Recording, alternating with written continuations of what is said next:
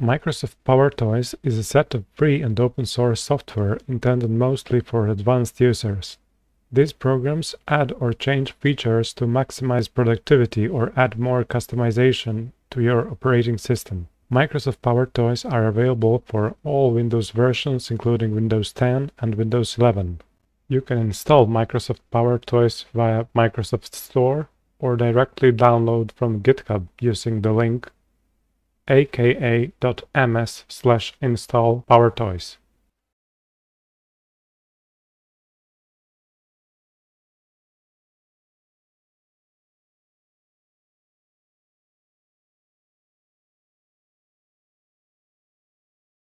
Once you have finished downloading and installing PowerToys, you can launch it in two different ways.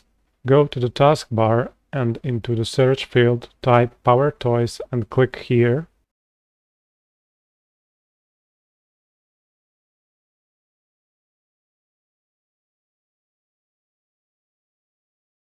Or alternatively, you can go into the system tray and start it from here.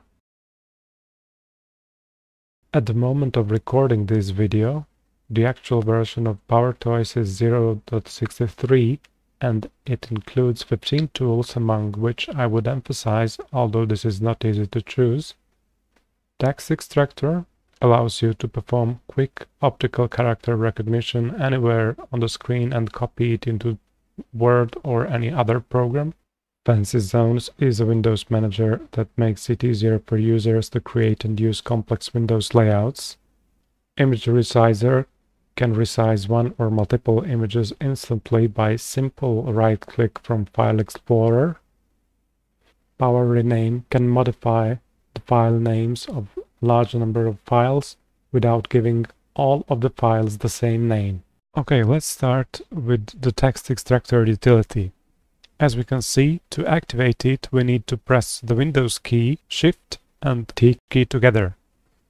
To test it, we need some text inside of the picture, actually the text that is part of a picture. And we'll try to paste it into Notepad.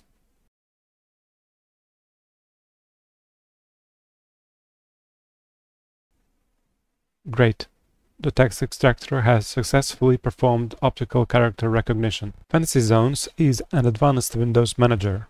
First, we need to select the appropriate window layout, so click on Launch Layout Editor.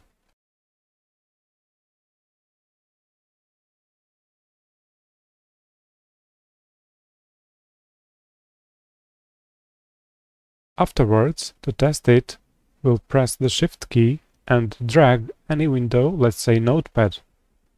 And now layout zones are visible, so we can put window into any of these. Image resizer is really simple. Right click on any JPEG file, click on resize pictures option and select size that you like. Of course, we can resize multiple pictures at once.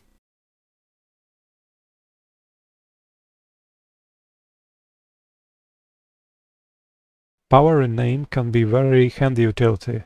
Just select all files that you want to rename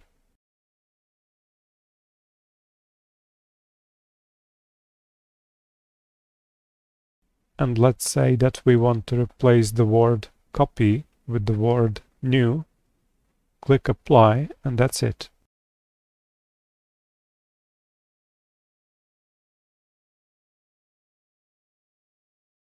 Other PowerToys utilities can be useful as well, so I would advise you to try them.